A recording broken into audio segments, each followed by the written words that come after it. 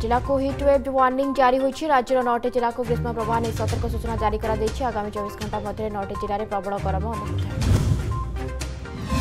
झारसुगुड़ा संबलपुर बरगढ़ सुवर्णपुर सुंदरगढ़ बलांगीर बौद्ध मयूरभ और केन्द्र जिलावासी को सतर्क रहाक परामर्श दी आगामी पांच दिन चार दिन तापम्रे पर संभावना ना आगामी तीन चार दिन जाए राज्य में ग्रीष्म प्रवाह जारी रिच्छ स्थानीय स्वाभाविक ठारूपम्रा तीन रू पांच डिग्री अधिक रहा है ଉତ୍ତର ପୂର୍ବ ବଙ୍ଗୋପସାଗରରେ ସୃଷ୍ଟି ହେଲା ଲଘୁଚାପ ଦକ୍ଷିଣ ପଶ୍ଚିମ ମୌସୁମୀ ବାୟୁ ପାଇଁ ପାଗ ଅନୁକୂଳ ଏହାର ପ୍ରଭାବରେ ଉତ୍ତର ପୂର୍ବ ରାଜ୍ୟରେ ପହଞ୍ଚିବ ମୌସୁମୀ ବଙ୍ଗୋପସାଗରରେ ଛାଇ ହୋଇ ରହିଛି ମେଘଖଣ୍ଡ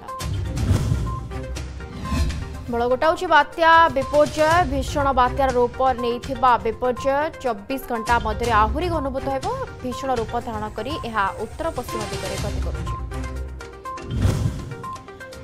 ହାଜିରୁ ବାତ୍ୟାର ପ୍ରଭାବରେ ପବନର ବେଗ ବୃଦ୍ଧି ପାଇବ ପବନର ଘଣ୍ଟା ପ୍ରତି ବେଗ ଶହେ ପଞ୍ଚାବନରୁ ଶହେ ପଞ୍ଚଷଠି ଓ ବେଳେବେଳେ ଏହା ଶହେ ଅଶୀ କିଲୋମିଟର ମଧ୍ୟ ଛୁଇଁପାରେ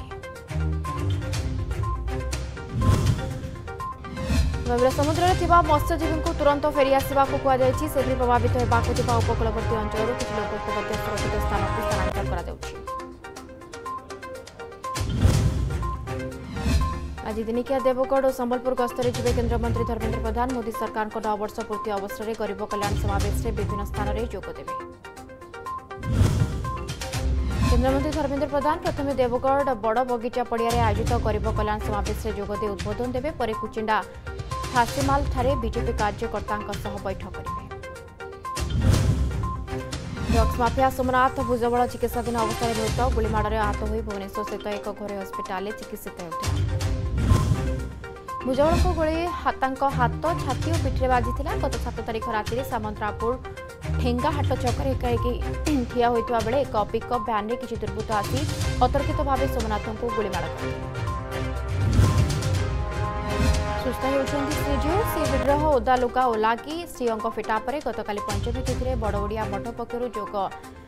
ଯୋଗାଯାଇଥିବା ଫୁଲୁରି ତେଲ ଶ୍ରୀଅଙ୍ଗରେ ଲାଗି ହୋଇଛି ଏହାପରେ ମହାପ୍ରଭୁ ଜ୍ୱରରୁ ସାମାନ୍ୟ ଉପଶମ ପାଇଛନ୍ତି ଆଜି ଅନବସର ଷଷ୍ଠୀ ତିଥିରେ ଶ୍ରୀଜୀଉଙ୍କୁ ଓଷ ଲାଗି କରାଯିବ ବ୍ରହ୍ମଗିରିସ୍ଥିତ ଶ୍ରୀ ଅଲାନାଥଙ୍କ ଅଣସର ଦର୍ଶନ କରୁଛନ୍ତି ଭକ୍ତ ଅଣସର ଦର୍ଶନ ପାଇଁ ଜମୁଛି ହଜାର ହଜାର ଭକ୍ତଙ୍କ ଭିଡ଼ ଅଲାନାଥଙ୍କ ଅନବସର ଦର୍ଶନ ଉପରେ ହାଇକୋର୍ଟଙ୍କ କଟକଣା ଅନବସରରେ ଆଉ ରତ୍ନ ସିଂହାସନ ନିକଟରୁ ମିଳିବନି ଦର୍ଶନ ଅର୍ଗଳି ନିକଟରୁ ଦର୍ଶନ କରିବେ ଭକ୍ତ ବାଲୁଙ୍ଗା ରେଳ ଷ୍ଟେସନରେ ଏକ କୋଇଲା ବୋଝେଇ ମାଲବାହୀ ଟ୍ରେନ୍ରେ ଲାଗିଲା ନିଆଁ ଦମକଳ ବିଭାଗ ପକ୍ଷରୁ ନିଆଁକୁ ଆୟତ କରାଯାଇଛି ନିଆଁ କିଭଳି ଲାଗିଲା ତାହା ସ୍ପଷ୍ଟ ହୋଇନାହିଁ ରାଉରକେଲା ଚାରି ବର୍ଷର ପୁଅକୁ ହତ୍ୟା କରି ଟାଙ୍ଗିଦେଲା ନୃଶଂସ ବାପା ଉଦିତନଗର ଥାନା ଶୀତଳପଡ଼ା ଅଞ୍ଚଳରେ ନୃଶଂସ ବାପାର ବିଭତ୍ସ କାଣ୍ଡ